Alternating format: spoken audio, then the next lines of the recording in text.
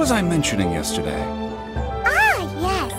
Okay, so let's say the world really was on the brink of destruction. How would you even know that anyway?